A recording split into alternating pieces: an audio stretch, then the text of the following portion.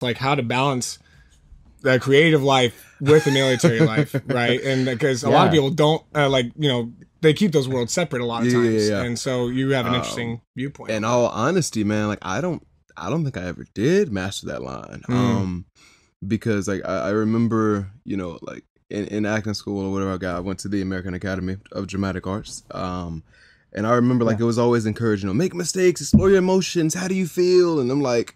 Uh no, you don't make mistakes. People die if you do that. Um, how I feel doesn't matter. I got a job to do. Get it done. So yeah, like legit, it's a, it was a double life, and it was the weirdest thing and like the hardest thing I'd ever done. Um, Sure. because I like I didn't even growing up like I didn't have sort of that artsy. I've been doing this since you know I was a kid background like that just wasn't my story. right. Um, Sure. and so being there like it was it was crazy, and then and all of a sudden, of course, like every month I go down to base where like in all honesty, it was so much easier doing the military thing, just being a robot and just getting the job done. It was so much easier than actually being I guess human, Hmm. if you will. Hmm. Um, yeah, it's crazy. It was weird. You know, that actually kind of gets on an interesting point for me where Mm-hmm. it's like, um, because in my opinion, like as from an artist perspective, Mm-hmm. um, it's always as a theater artist specifically, it's like a lot of it's based on you know community. It's a communal art form, all those things. But on the, that's actually with the military too. Like your Mm-hmm. Yep. unit, you actually it's highly, um, you know, like the bonds that you create with your Yeah. different units, battalions, like the, even your branches Yeah, yeah, is like a big old thing. So it's is. what's the difference? Would you say like between those two worlds? I would say I think the, the biggest difference between those two worlds, um, in my opinion, is definitely I think camaraderie is more I don't want to use the word forced, Mm-hmm. um, but it's much easier in the military because I because I, it, it's not this.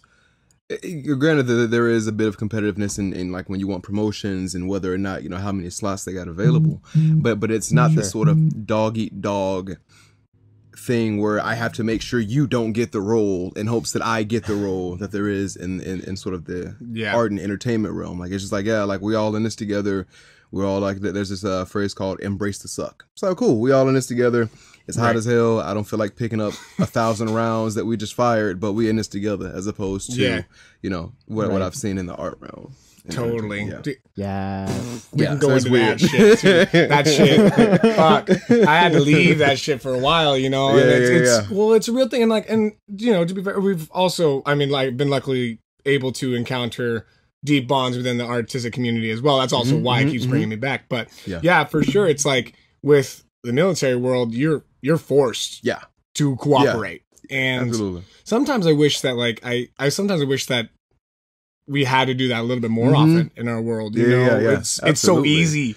Yeah, it's, it, it, it, it, it, it makes it makes everything that much better. Like even those bad moments, those moments where you're tired, you're hungry, you've been moving in mud, like or you just you just want to go home. Like Mm. it makes all those moments so much better, as opposed to like you know when you have like we all got personal issues, right? So you got personal issues going on or whatever. But it makes it easier to know that okay, at least I got somewhat of a family here, as opposed to are these people that I'm working with, all these you know artists that I'm meeting and uh, networking with, Right, right. um, you know, are they really here for me? Do they have their best interest, my best interest at heart? Like, um, are they going to Hmm. look out for me the same way I want to look out for them? yeah, Um, and I, I don't think you have to worry about that as much, right. in the Um, military for sure. Yeah, so so it can be a lot easier just at least having one safety blanket. Yeah, Um, like I remember when I was deployed, things got really, really bad for me.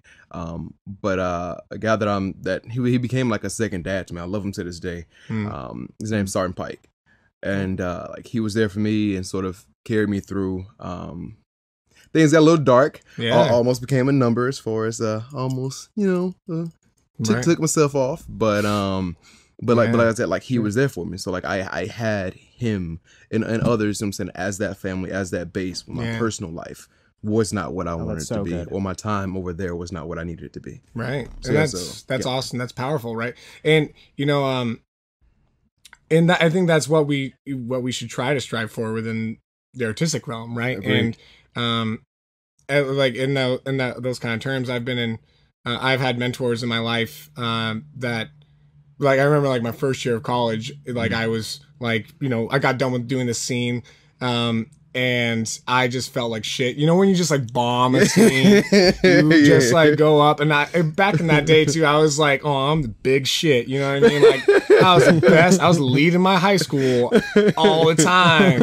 You know what I mean? I And- wouldn't know what that feels like, but go yeah, ahead. But, you know, right, right. But well, it was like I came in there, and then like the first scenes that we do, like I was like, yeah, I got this shit unlocked, whatever, you know. And then we do it. We do our performance, our final performance, and I was like, fuck, yeah. fuck. Damn. I just bombed up there, and I remember like going to the my professor the next Mm-hmm. day.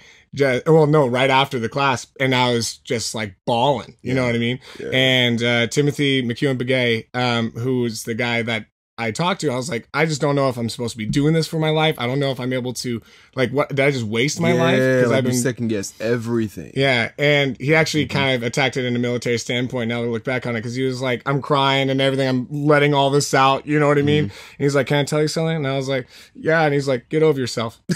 oh man. that's, that's what I was like. I was like, I was like, uh, what?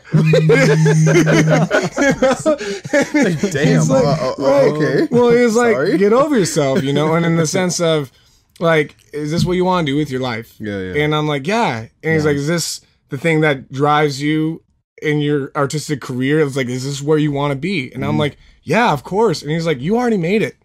You're already here. Oh, that is that's You good. know? That's good. So get out of your own way. Yeah, yeah, yeah. That's good. That's I know. Who is he? I need to meet him. Uh, he's he's amazing. Timothy McCuen Piggee. Uh, Nick knows him as well. Highly recommended. Yeah. Yeah, he's a Great acting. great coach. acting coach, great director, and stuff like that too.